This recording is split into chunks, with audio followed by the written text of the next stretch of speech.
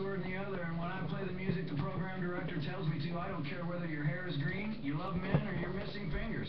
Sooner or later... no! No! Ow! Sounds like a YouTube video. I broke it in half.